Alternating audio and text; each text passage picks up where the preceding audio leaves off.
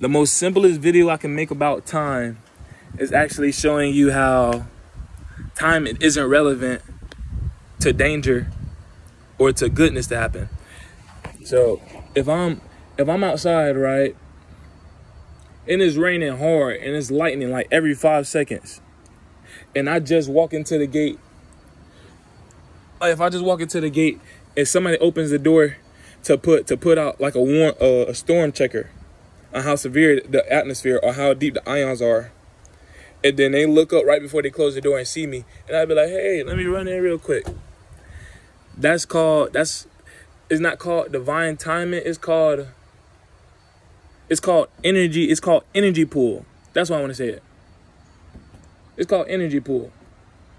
Like the sun, the sun doesn't have like if we if we stand on the sun, it's not gonna be no real time. Like what is the sun revolving around?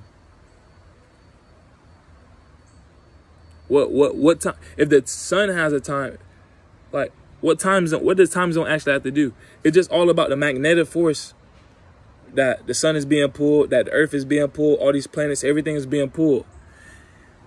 But they timed it in order to show like, hmm, it does this, it does that, so people won't get confused on like, hmm. I don't, wait, I am not actually sure why people actually get confused on what time it is. If you can't see and you can't do a certain job, and that's when everything should go to a rest. But I guess when people actually want to do things on a later time, that's how procrastination was started. They want to do things on a later time, so they must know the time zone so they can be able to get out of a situation that requires light. So that's probably why a time time zone was made. But a lot of times in in my factor, I understand that the way energy pool is to basically manifest. So the Holy Spirit can also manifest people to get out of danger or people to be in a circumference or atmosphere of people who are likely minded or people who are available to bring sensation to a foundation that's needed for the environment to atmosphere. So time, time, I'm, this is how I look at time for real. If you flip around time, it says emit.